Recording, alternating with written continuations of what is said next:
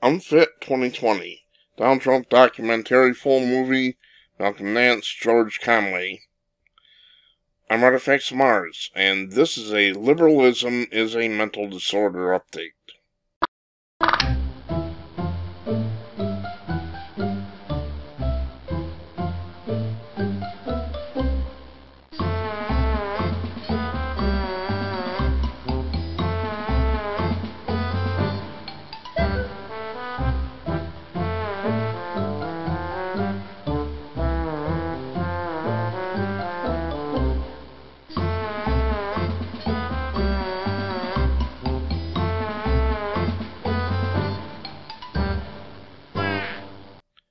Okay, folks, this is a special update. Somebody put this on my chat group, and what I'm doing is I'm applying to this movie. I'm going to try to hold it under 10 minutes. No guarantees on that. The individual you're seeing right there is Malcolm Nance. Uh, not really sure who he is. He's other than he's a Trump hater. And the other one I'm going to show you I'll show you one or two others like George Conway. Put this on hold. John Gart Gartner, PhD, author, psychologist. No, he's a psychobabbler. He had a big, uh, one of the biggest uh, parts in this movie. He's an obvious leftist. Okay, uh, here's George Conway, Kellyanne Conway's husband or ex-husband. I don't know if they divorced or not. I hope she did throw this bum out. So, we're to get down to nuts and bolts now. We got the introductions over. There's a whole bunch of them. Uh, hang on. Okay, this is uh, typical of this documentary. You have this cartoonish uh, image of Donald Trump totally disordered, demeanor and hell what have you. And I found that to be typical of this documentary. Um, most of it, I would say 90% of it, was personal attacks on Donald Trump. 90, 95%.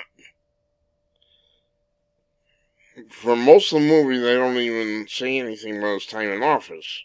They're looking in the past, comparing him to Hitler,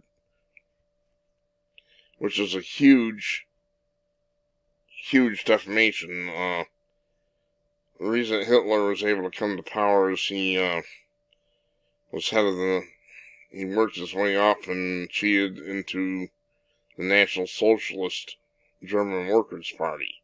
In other words, Nazis. Uh, Trump is not a National Socialist. He's far from it. He's a populist, but he's not a National Socialist. National Socialism isn't that much different than uh, communism. So we have this cartoonish stuff, and they go through most of the movie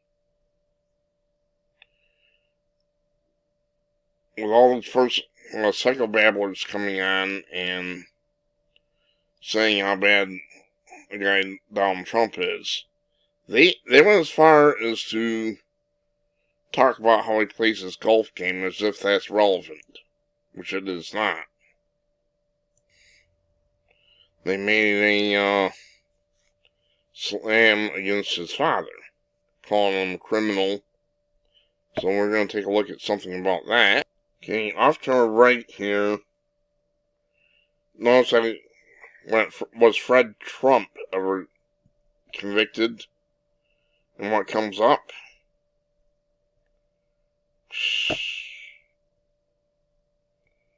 Donald Trump. Well, there's, okay.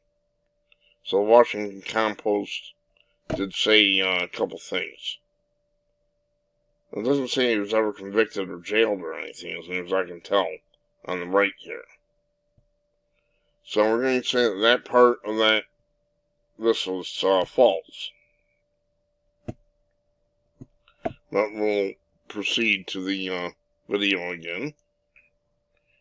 It's Trump in one of his silly hats or whatever. I don't really care about that. He was a showman. We knew that when we voted for him. We knew he was a playboy. That was not uh, anything unknown to any of us. So here they are suggesting that Trump supporters were rallying to support an, another Hitler and what have you. If you just take a look at how Hitler rose, it's totally different. And Hitler wasn't even a German. A lot of people don't know this. He was an Austrian, not a German. He, he believed that Austria was a part of Germany so they went in and they did the Anschluss and what have you. And, of course, he took over. But Donald Trump is not a National Socialist. And neither am I. And neither are most of his followers. Are there some National Socialists who are going to follow Trump? I'm sure there are. It's not who follows you it's what your intentions are and how you do your job that matters. Okay, we'll take a couple more glances. I'm not going to go too long on this.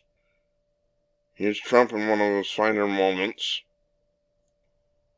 I don't know who this woman is, but she's a nasty, vicious Trump hater. Yeah, she uh, is definitely infected with the infamous Trump derangement syndrome.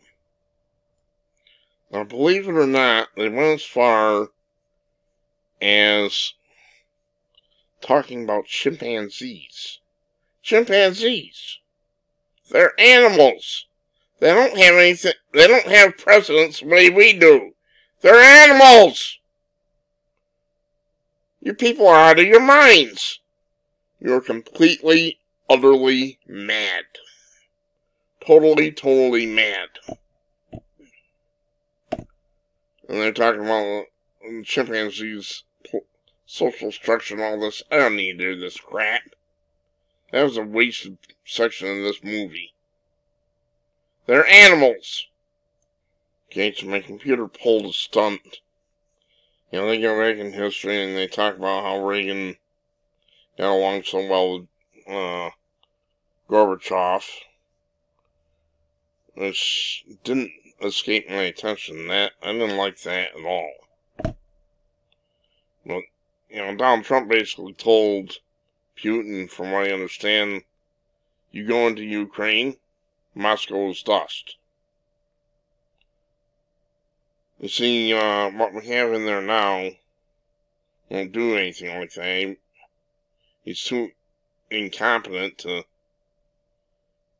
uh, lead us. We don't have a leader, we have dictators behind the scenes, actually. Okay, Sheldon Solomon, PhD.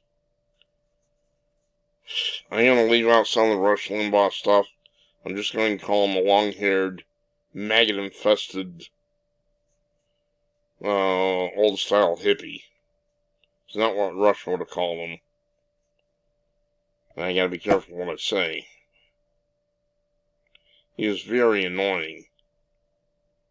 And here's this jerk.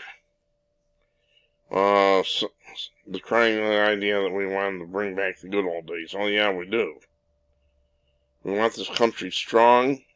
We want beef on our plates. And we want the borders sealed and the illegal aliens deported to their home countries. Starting with worst ones, the ones have criminal records. That's not where we're getting. We have an open border. This was made in 2020, uh, by the way, so.